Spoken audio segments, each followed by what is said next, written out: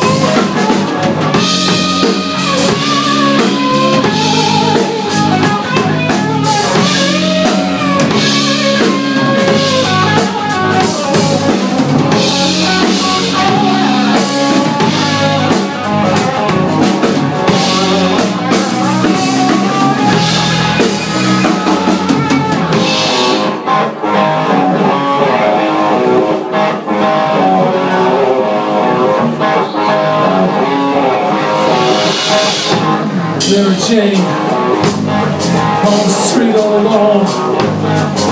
Of